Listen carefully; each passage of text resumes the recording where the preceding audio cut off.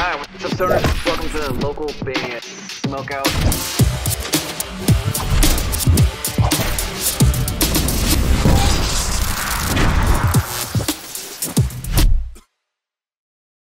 Yo, what's up? This is Kay from Matriarchs, and you are watching the local band Smokeout.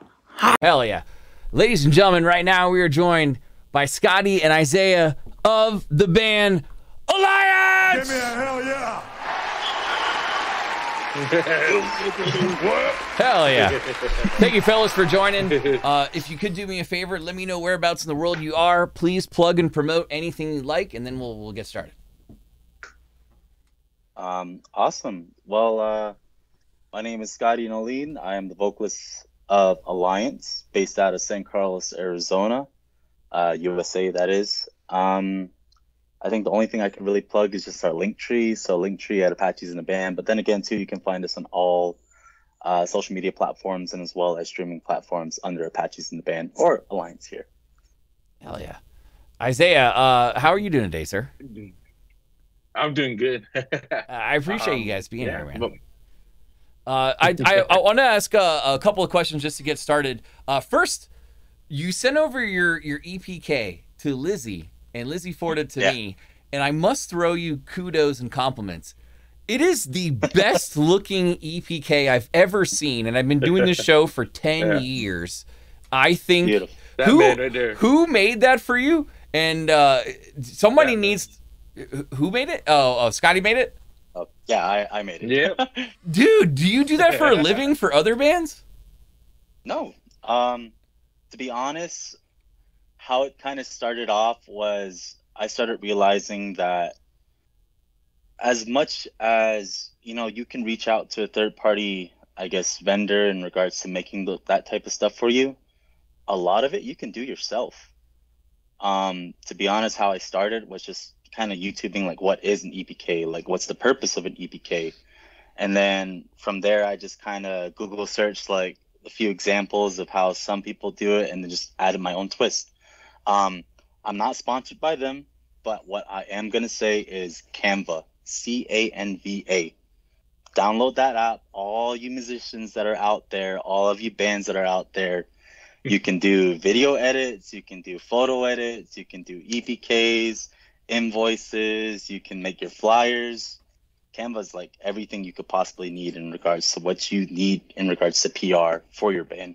So, I mean that uh, everything that you see, even like if you look at our um, album, our single artwork for like chains, reassemble, all of that, that's all done through Canva. Each and every one of those uh, album artworks. So it does everything. Hell so yeah. I mean, Giving the secrets out. Wow. yeah. Well, I mean, I You can make money doing that- this, bro. That's Well, awesome. yeah, I mean, I mean, no, no doubt, I can make money, but what I've learned along the way in regards to being with this band is that it's a lot of give and take, and it's better to give more so ten than to take, and it's all it always comes back full circle, anyways, too. So, by all that. means, if I if I could help somebody else, eventually down the road, we're gonna end up being helped, especially with what we're doing now. No, Is- bro, I'm messaging you tomorrow. So probably I'm gonna Yo, is there is there a way, Lizzie? Can I can you re- quickly resend that to me through Messenger? I want to show everybody what we're talking about because it is the cleanest. Uh, by the way, my co-host today, uh, his name's Eric. He goes by Spaz. He's in a band. He's a drummer in a band called uh, Failure by Proxy. Um, he's my Okay. co-host. Uh, nice to meet you, Eric. Nice is- to meet you guys. Is, Greetings. is Yeah. everybody in the band of the Apache tribe, and how did you guys meet? Yeah, uh, we are all a part of the San Carlos Apache tribe. Um, it started off with me and Isaiah. Uh, we gotta kind of go way back to about ten years ago now. Way back! 2013. Yeah. Uh, back so back then. I know, right? but um, so, So back my bones then, crack. uh, but back then, what had happened was it started off with just YouTube covers because back then I was playing guitar and um, I was just posting up these YouTube covers. And I had posted it to Facebook, to which Isaiah and I were friends through Facebook. We didn't really know of one another, just a little bit, but um, he seen the cover and he messaged me later on. He was like, "Hey, I could play that song, but I play it different." And we're just like, "Oh, okay." And although something really small, like a few weeks later, he messages over and he's like, "Hey, uh, I'm trying to start a new band. You want to be a part of it?" And uh, the rest is history. So That is cool. Okay, I Yeah. have I have the EPK to show everybody what we're talking about. So I'm gonna I'm Yeah. gonna switch screens just for a second so you guys can see this. Uh, you, you- check this out right here. So this is what it looks like if uh, if if you get their EPK. Look how colorful and vibrant. It's got all the information you can ever need, multiple photos, uh, everything about each band member, press history, radio stations, blogs that have posted them, their numbers, uh, people they've played with, prior flyers. I'm telling you, man, it's very impressive. Uh, I, I don't want to make the whole interview about that, but it's just it's just fun that uh, that you guys uh, are really wicked good at that for real. Spaz, I know you got some questions for him. Yeah. Um, trying to be respectful of your heritage and all that. Um, do you guys? I know- I know you have a female in your band too. So, uh, as a group of musicians, do you ever get either pigeonholed or uh, looked down upon, or maybe even passed over because you are a full Native American band? Personal feeling. Uh, you know, actually, it took a really long time for us to break into the Arizona music scene. Um, a lot of it is because we live so far away from the actual city of Phoenix. You know, we live about two and a half hours out east, and that that's on a good day. Sometimes it could even be more depending on traffic. And um, unfortunately, to a lot of Native American bands previously be before us and maybe even around the same era as us just transportation alone has been like a band killer. And it's caused a lot of bad reputation to native americans in general. And you know it no one likes uh, a band to cancel out on a gig but sometimes you know it is what it is. And i'm actually lucky to say that our band is fortunate enough that we've probably only canceled maybe once or twice in all the gigs that we've done. And that's including from the Valley to New Mexico to Colorado. You know, we, we make our way and we make that extra effort to make it to those gigs. so um, to, to go full circle with answering your question is yes. Um, to what I hear whispers in the back of my ear is that Native American bands in general are looked down upon because of those contributing factors. But you know, we're hoping that we leave a good reputation for that. You know. You're slightly freezing on uh your there you go. Every now and then we can hear every word you're saying, but it kind of is Oh. it's freezing just a little bit every now and then. But we're good. We're good for a second. But uh were you guys informed Oh, no. about the the hot sauce? That uh, To do that's for the trivia segment. Oh yeah, Isaiah's ready too. Hell yeah! To do Does the that have a trivia, it counts. It I counts. know. That's all I got. It counts. hey, We'll take all- all it. I Is got it is what that the or a pedal? so. No worries. Uh, could could you That or a pedal. could you Scotty and Isaiah agree on a movie or TV show that you guys have seen more than anything? Could you agree on one or the other? Where if I ask you trivia about either a movie or a TV show, you could you will not get stumped. I'll give you a second to think about it. I'm gonna go ahead and jam the uh, Chains music video right now, and uh, you guys think about it. We'll come right back. And if you're watching, please support them. Hit the subscribe button. It'd be a hell of a lot cooler if you did. Cooler if you did.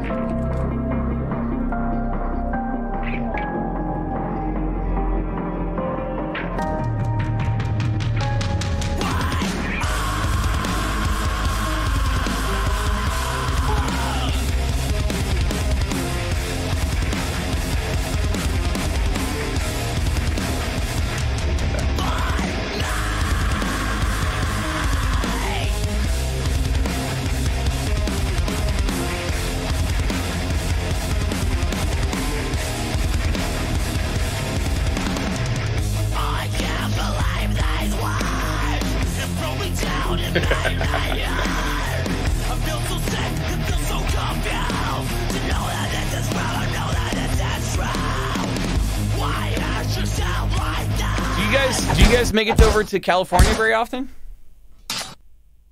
Um, Yeah, dude. I actually, uh, next what is it? Next Saturday will be our first Yeah, time in next Anaheim. Saturday.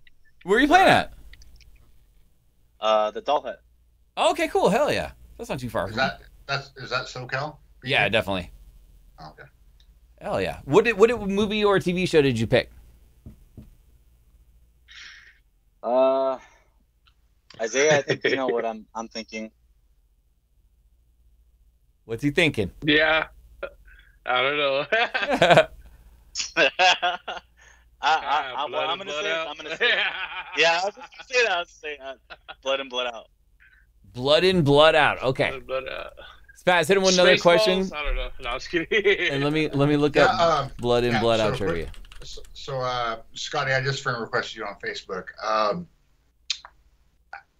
what inspired you guys? Um, I mean, I don't want to harp in on the native heritage portion because, I mean, that's a that's a, a good part, or I guess a focus part. But what inspired you to one become a band, and two, maybe surround yourself with Native Americans to become that kind of I guess you could say label. Again, no disrespect, because to me it doesn't matter. If you're a great musician, you're a great musician.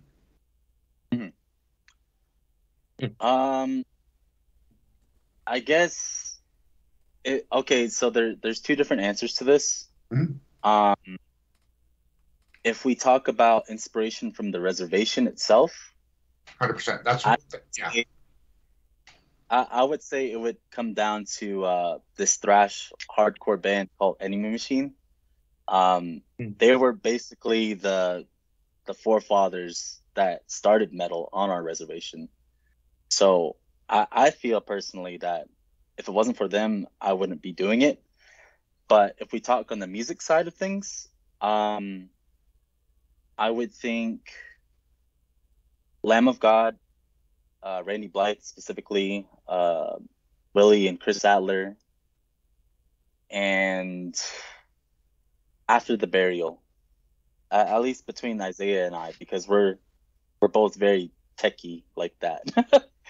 I love the fact that like in, like in your guys' music. oh yeah, yeah. in, in your in your music though you incorporate like all kinds of different genres that are different than the bands you just mentioned like where does that influence come from like the non-metal side influence Um, for me personally, it would probably be the the emo punk band Alesana. hell yeah Um, that that's where a lot of like that, you know how if, if you've heard some of our music, it kind of goes from like one section to a whole like 180, and I I feel like that's always been like a signature move of us is like we we keep it in rhythm, but at the same time we like to twist it up a lot. i got you well let's see if we can BG, stump have- you here I got one quick question. Oh, yeah, yeah, real okay. And I know it's it's a totally different uh, style of ethnic music, but like I love Bloodywood, and I love how they incorporate some of their, um, I, I, guess, music heritage, or like um, with Native Americans, is it like a is it a war cry, war dance? The, um, you know, the tribal type of music. Have you ever? And I've never heard of you guys before, but I, I, I just hearing what I heard, I love, and I, I'm going to look it all up. Have you ever thought of incorporating some, um, your, as a custom? Uh, you know, you're back. You know what I mean? Um, I, actually, we have. Um, if you look up the song Apache Morning Sickness, Okay. um, little little side story of that is, um, last year we entered in into a radio competition with 98 KUPD, Mhm. um, the you know big radio station in Phoenix, and uh, surprisingly we actually won it. And out That's of winning it, we are able to win. Uh, thank you. but out of it, we actually won studio. We actually won studio time, and we also won uh, two Gs. So, with going into the studio, what we ended up doing is we created a radio intro for that radio station. So every single morning for the next 365 days, they play that radio intro for their morning show. That's amazing. wow that's super cool Congratulations. that's badass Yeah, thank you so much. But but in that song, you can uh, Oh, thank you, thank you. but in that, but in that song though, we incorporate something that's very home-like, which is a war cry, hmm and um, it's it's a it's a little section like toward the end of the song. But once you hear it though, um, I guess you could feel a little bit at home, which I I hope you know makes people that are from where we're from, you know, they they feel at home with it. That is super cool. Let's uh let's see if we can stump you and get you to do some hot sauce though. The important things in life. no. In the movie Blood In, Blood Out, which you selected, what is the name of the prison gang Miklo joins? La onda. La Onda is correct!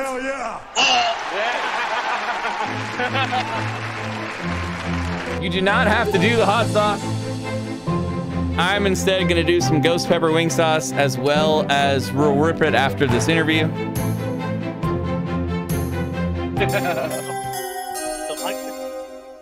it's like how how does that affect later on? You know, with the hot sauces that you you do. Oh, I'm good. I have like I have like I have like 40 of them, and uh, I have like a couple of favorites that I rotate. Like right now, I have Oh, I have Red Hot Riplets meal sauce, wasabi, a custom one that a buddy gave me, and that one is the, nightmare. You don't want that one. Um, a green one, and then I have the ghost pepper wing sauce, which has a little sizzle to it, but it's it's like a three out of ten on the heat level. Um, They put like one ghost pepper in like a gallon of it. It's it's, Ah. it's just a little pinch, but Yeah, it's not it's not too bad. Fellas, what would you, You know, like? Scotty, Oh, I'm sorry. you know, it'd be good if we had if I had my um Calo- Carolina Reaper um salsa. Go grab it. oh yeah. Yeah, I don't, I don't, I already ate that all. Dang, it must have, it must have been good. Must have came out good. What It What do you guys want to uh, accomplish for the remainder of the year, and when can we expect the fall the next single to come out? Um, I would say right now our goal is to complete the rest of the shows that we booked. Um, because you know, ever since the the whole radio station win and the releases of these singles and our music video, it's just been going up, just up, up. Everybody wants more. Everybody wants to see us live, and it's come to the point now where it's like, okay, um, what shows are most important, you know, or what what's going to really benefit us as a band in comparison to just playing everywhere and doing everything that we want to do. And although, you know, in, in a perfect world that that would be nice, but simultaneously too, we we have our own limitations. So I think that and then in regards to a new single, um we've actually started the process to our next EP and um looking into next month we're going to be really sitting down and writing out the next EP. So, yeah, I mean, I, I would say maybe next year. What did you spend the two G's on that you guys won? Uh, let, let's see. It was the, the Studio EP. time. Yeah. yeah, it was studio time for the EP. Shout out to Jacob Miles. He's he's our sound engineer and he did such amazing work in regards to all of these singles. Um, but what was it? Airbnb, just so that we could all be in the same spot. Yep. yeah yeah and that's that's what it really came down to is because comparison to driving back and forth into the city to get to the studio it was a lot better and more convenient for us just to get an airbnb go Makes sense. there and then plus too on top Mm. of that that same weekend that we recorded we had a show so we had to Yep. get to that gig and then go back to the studio and then you know mix it all together All right, I, I got one more trivia question, then I'm gonna send it back to Spaz. Uh, I gotta stump you guys. I'm gonna try. I'm trying. I don't know. Ah. What is the name of the leader of the Black Guerrilla Army? oh Second one's always harder. In Blood In, Blood Out, what is the name of the leader of the Black Guerrilla Army? Bonafide. Bonafide is correct! Damn it! Yeah. Well done. Damn it! And you had to like really think about that one too. It's like really ugly. All right, we'll bust out the Mad Lib after this. Um, because it's not fun to do it while while you guys are here. But uh, uh, let's see. I, I have one more last question. Uh, and then again, I'll, I'll send it to Spaz. But before before I send it there, can you guys tell me maybe a mistake you made early on in your career that you don't want another local band that's just starting to make? Oh man. Some advice, if you will. Don't drink before you play. No, I'm just kidding. Oh no, no, no, Yep. no. um, Um, what, uh, man, I mean the the the drinking one, it that that could be, you know, either way. Some people it it relaxes them. A lot of people they want to stay more focused.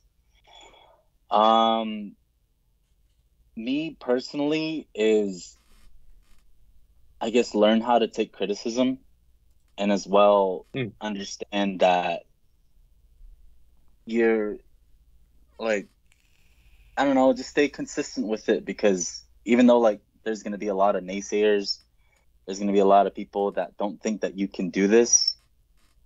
You gotta be your own self motivation through either the good praises or the bad praises. I mean, still you gotta just keep going because at the end of the day, all you're just trying to do is make music, all you're trying to do is just live the dream.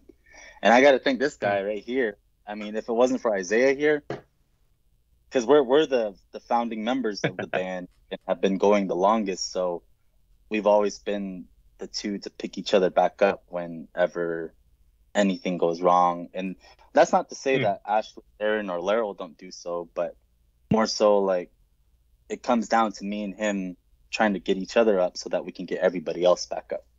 So, because we we've been through it all. I mean, we could go Oh, yeah. on and on talk to you guys about everything that we've experienced in these past 10 years with this band but um yeah i mean When your, That- when your that bandmates fall down, pick them up, man. I like that. mhm. Spaz, hit him with the I got. Oh, sorry. Was. uh, hit him with the one Oh. one. We got time for like No. one one more question. Give him a good Well, I one. have, well, well, okay, so maybe one and a half, BG, real fast. Sure. Okay, first one. Uh, you said you've been together. Uh, you've been in a band ten years. Do you have a custom in-ear endorsement? Is your drummer endorsed with cymbals or sticks? nope No. okay, respond to me. Uh, I, I've been I've been playing in bands for many, many, many years. Uh, my one of my give backs is I have a wide um, contact list of uh, endorsements that will help out. Um, and, and you guys are good enough. So um, reach out to me because these guys trust my input, and especially with cymbals, drumsticks, and custom inner molds, uh, I, I can help you guys and save money because, uh, again, I'm Um, a I'm a I'm in a band. uh, You know, I'm I'm a drummer and a screamer, but I, I still have a, a job because I'm not making a living off this. I do it because we want to spread our love musically to everybody else. My second question is, I, I love co-hosting with BG because uh, he's uh, Queen Lizzie. They're all the best family. So you have a choice: one, five, or ten. You pick a number. It's one, five, or ten. oh man what do you think isaiah I Always go for the biggest one. though. That's what I was thinking. You think D? You want to go for 10? Try Say 10? Okay. D. All right. This one's from Alliance. Okay. Here we go. Here we go. One second. One second. Boom. It's ten Courtesy gifted subs from Spaz, but really for for and from Alliance right there going out. But dude, for real, he he's he's telling the truth. He knows a lot of people in the industry. Um, we we got to speak with uh, shoot, what was the the, the band that played the the Vegas I- festival? Cold Chamber? Yeah, yeah, Cold Chamber. Uh, he's friends with uh, Mikey A from there. But yeah, he can help with endorsements and stuff. So definitely reach out to him and link up. He, he's And microphone endorsements. He's a cool dude. All right. But Spaz, thank you, I got man. Yeah. And I got hookups with Schecter. thank so you Just All right. hit me up, please. So each time there's a sub, I have to do a judo kick, and I'm behind 18, so now I have to do 28 judo kicks here in a bit. But uh, Alliance, you guys are badass, man. Keep doing your thing. Uh, it, maybe we can do a follow up down the road and touch base again. But uh, kudos to you for not only winning winning the radio station contest, having the best looking EP I've ever seen in this entire show. I think you literally have another job on your hands if you want it to do that for other bands. They, they'd probably easily pay 150, 200 bucks for something like that. But um, you guys, you guys are badass, man. We we appreciate you supporting us, so we'll keep supporting you for real. Yeah, and Scotty, Oh, like I said, you. I I sent you a friend request. Hit me up because I do need help with my band's EPK because I just don't have the time. so Yeah, by all means. I mean, I'll, I'll be more than willing to help out. Hell yeah! awesome, brother. And if you guys are watching again, please go over to their Spotify, hit the follow button like I have. please. Ladies and gentlemen, Scotty and Isaiah of Alliance. Thank you, fellas. Enjoy the rest of your day. You too. Hi, what's up, stoners? Welcome to the local band Smokeout.